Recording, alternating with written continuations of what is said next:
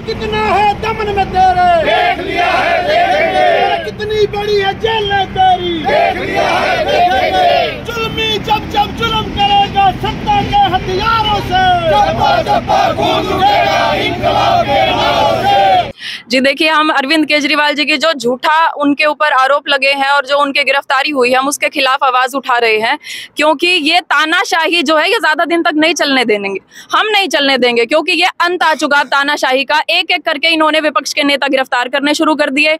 जो इनके पार्टी में भाजपा को ज्वाइन कर लेता है, वो दूध का धुला हो जाता है और बाकी जो है, जेल में जा, जेल में उनको डाल देते हैं। तो दो ऑप्शन देते हैं ये, या तो आप बीजेपी में आ जाइए या आप जेल में चले जाइए। अरविंद केजरीवाल जी ने दूसरा ऑप्शन चुना जेल में जाने को तैयार है लेकिन भाजपा कतई ज्वाइन नहीं करेंगे और भाजपा के खिलाफ इस तानाशाही के खिलाफ लगातार आवाज़ उठाते रहेंगे। हमने लगातार प्रदर्शन किए हैं जब पहले भी हमारे नेता गिरफ़्तार हुए तो तब भी, भी हमने लगातार प्रदर्शन किए हैं। इस बार जो हमारे आप कहेंगे कि हमारे जो सर्वे सर्वा है हमारे नेताजी हैं केजरीवाल जी को ही अगर इन्होंने गिरफ़्तार कर लिया ये सोचते हैं कि ये हमारी पार्टी तोड़ देंगे।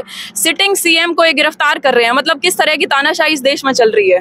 तो ये बहुत ही खतरनाक पड़ाव की तरफ़ ये देश को लेके जा रहे हैं और हम नहीं जाने देंगे क्योंकि ये भारत है ये लोकतंत्र है और हम इसमें हमें इसमें लोकतंत्र में रहने का अधिकार है हम तानाशाही में नहीं जीना चाहते। तो क्या मान के चलिए जो दिल्ली सरकार है अब जेल से चलेगी?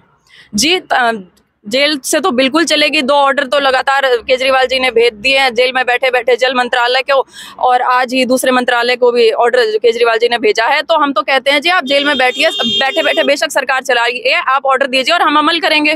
कोई दिक्कत नहीं है, जेल से चलेगी सरकार। देखिए बूझता दिया, ज़्यादा फड़फड़ाता है। उन्हें पता है कि इस बार 2024 की राह आसान नहीं है। उनको सिर्फ़ केजरीवाल से ही डर लग रहा था। अब ये देखिए कि जो भी जो भी इनके खिलाफ आवाज़ उठाता है, चाहे वो किसी भी पार्टी का हो उन्हें जेल डाला जाता है। और जो उद्योगपति हैं उनको डर दिखाया जाता है। या तो आप अंदर जाइए ईडी भेजेंगे और उनसे इलेक्ट्रोल बॉन्ड की तरह चंदा लेंगे उनको छोड़ देंगे। ऐसे सैकड़ों मामले देख सकते हैं जो सुप्रीम कोर्ट ने इनकी पोल खोली है जग ज़ाहिर है। इससे पहले भी इन्होंने ऐसे ही लोगों को भय पैदा करके चंदा लेते रहे हैं। आज ये ये जो अजीत पवार जी हैं सत्तर करोड़ के घोटाले के बता रहे थे शुभेंद्रु जी हैं जो टीएमसी से उनके ऊपर घोटाले थे वो बीजेपी में आ गए तो साफ़ हो गए हैं। नवीन जिंदल को डरा के मतलब मेरा सीधा साधा कहना है कि वो भय पैदा कर रहे हैं, लोकतंत्र की हत्या कर रहे हैं, संविधान की हत्या कर रहे हैं। कहीं कोई कुछ नहीं चल रहा, सिर्फ़ और सिर्फ़ तानाशाही और गुंडागर्दी चल रही है और हमारी पार्टी आंदोलनकारियों की पार्टी है। हम जेलों से डरने वाले नहीं है, मुकदमों से डरने वाले नहीं है। हमने ये जो आंदोलन चलाया था भ्रष्टाचार के खिलाफ, ये हमारे को बदनाम करने के लिए हमारे पर भ्रष्टाचार का आरोप लगा रहे हैं। सीधा सा मामला है, जिसके बयान पर, जिसको सरकारी गवाह बनाया गया है, जिसके बयान पर हमारे मंत्री पकड़े जा रहे हैं, उनके तार सीधे सीधे बीजेपी से जुड़े हुए हैं, उनके कहने से सरकारी गवाह बनाया गया और उससे करोड़ों रुपए इलेक्ट्रोल बॉन्ड के तहत चंदा लिया गया। ये तो जगह ज़ाहिर है। अब बात यह है कि सुने कौन? ईडी इनकी इनकम टैक्स इनकी सीबीआई इनकी, सब इनकी है। तो जनता के बीच में जा रहे हैं। हम जनता को बता रहे हैं किस तरह से हमारे देश में अघोषित आपातकाल चल रहा है। कहने को लोकतंत्र है, वास्तव में लोकतंत्र नहीं है। इस लोकतंत्र की हत्या हो रही है और हमें इस देश को बचाना है, चाहे हमें कुछ भी करना पड़े। हम बीजेपी में जाने वाले नहीं हैं। हम शहीद होने वाले लोगों में से हैं। पिछले दिनों एक वीडियो वायरल हुई और उसने रमेश कौशिक की जो राजनीति उसको धरातल पर लाकर रख दिया। उसके बारे में क्या कहेंगे? देखिए, इस इस बात को आपने सही उठाया। ऐसा ही एक मामला हमारे आप पार्टी के मंत्री पे हुआ था। मीडिया पे पूरी डिबेट चली थी। मंत्री को बर्खास्त भी कर दिया था। कहीं आपने इसकी डिबेट देखी हो? कहीं आप मीडिया में खबर देखी हो? क्या लगता है आपको? बीजेपी अगर करे तो रास। हम करें तो करेक्टर ढीला। सीधा सीधा फालमा ये है इनका। बीजेपी का कोई भ्रष्टाचार करे, सोनीपत के अंदर कितने बीजेपी के नेता हैं, कितनी कॉलोनियाँ कट रही हैं, नाम क्या लूँ आपको पता है? इनके घर ईडी नहीं जा रही, इनके घर इनकम टैक्स नहीं जा रहा, कितने बीजेपी के लोग सभी दूध के धुले हैं? पूरे दस साल में एक भी एक भी बीजेपी के घर ईडी गई क्या? इनका कुलदीप सेंगर, जिसने रेप किया और उसके रेप करने वाले पूरे परिवार को ही मार दिया, उसके खिलाफ कोई कार्रवाई नहीं की इन्होंने। ये तो कोर्ट ने दखल दिया, तब जाके हुआ। ऐसे सैकड़ों मामले बीजेपी कभी कार्रवाई नहीं करती, इनसे इस्तीफा तक नहीं लिया इन्होंने, जिसका आप नाम ले रहे हो। इस्तीफा तक नहीं लिया उनसे, ना उनको हटाया। और यही काम अगर विपक्ष क्या करते तो मीडिया भी हल्ला मचाने लग जाता है और डिबेट शुरू हो जाती है। तो मैं ये कहना चाह रहा हूँ, इन्होंने पूरा, पहले तो इन्होंने बीजेपी कैप्चर की, मोदी और शाह ने। अब पूरे देश के अंदर जो सरकारी एजेंसियाँ हैं, स्वतंत्र एजेंसियाँ हैं, सीबीआई है, ईडी है, इनकम टैक्स है, सभी पर कब्जा किया जा रहा है। इनमें भय पैदा किया जा रहा है।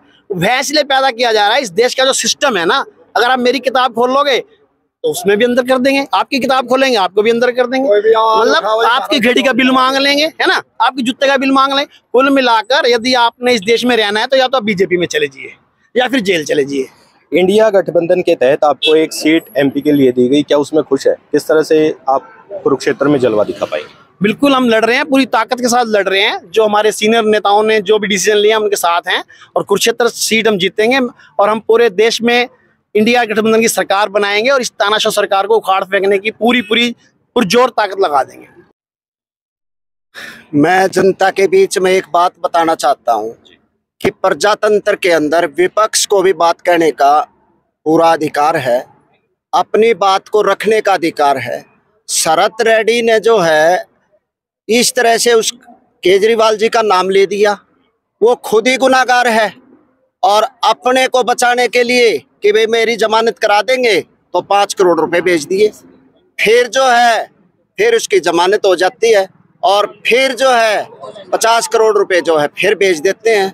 इस तरह से प्रजातंत्र चलता है क्या? सही मायने में तो भ्रष्टाचार उन्होंने किया है। केजरीवाल के पास, केजरीवाल जी के पास तो एक भी पैसा नहीं मिला।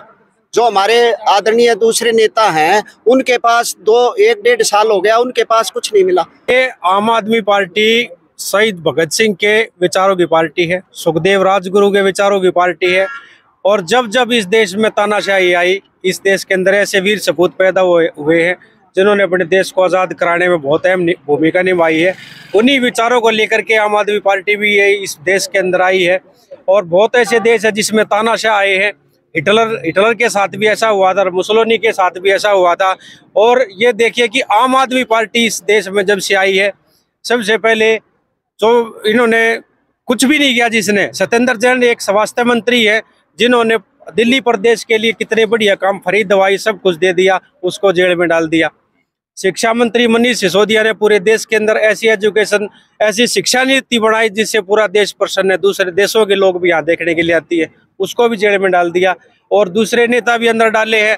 अब इन्होंने पूरे जो एक पूरे षड्यंत्र के तहत अरविंद केजरीवाल जो इस देश की आवाज़ को एक युवा की आवाज़ को, एक बूढ़े आदमियों की आवाज़ को उठाने के लिए जो इस देश के अंदर आए हैं, उनको भी ये कुचल देना चाहते हैं। बहुत थोड़े समय में 2012 से लेकर आज 24 आ चुका है।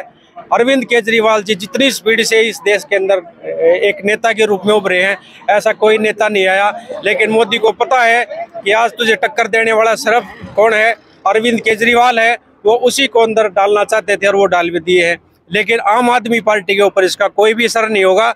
और ये जो सिपाही है, खड़े हैं आम आदमी पार्टी के ये इसी प्रकार से लड़ते रहेंगे। और नरेंद्र मोदी जो तानाशाह के रूप में इस देश को कुचलना चाहता है अपनी बंद मुट्ठी में करना चाहता है ये सब इनको उखाड़ फेंकेंगे। इस चुनाव में पता लग जाएगा कि कौन जीतेगा और कौन हारेगा।